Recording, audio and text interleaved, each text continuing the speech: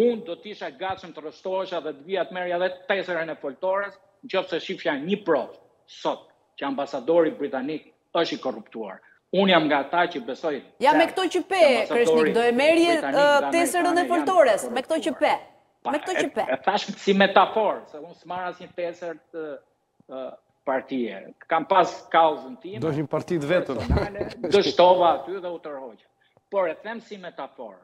Që absolutisht dhe çdokush nuk ka demokrat që ta besojë që ka prova. Tani pse duhet dal për elektorat? Nuk është nuk nuk i funksionon më kjo se 14 maji tregoi që nuk funksionon. Atëherë duhet kaluar në një stad tjetër.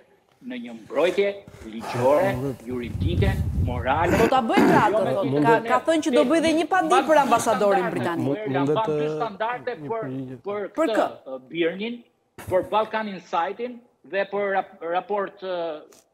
Që është kjo, report, report, pika, reporter pika al, po. Po, për të tre burimet, një herë i konsideron gazetar heronj, tani i konsideron të blerë nga Sorosi.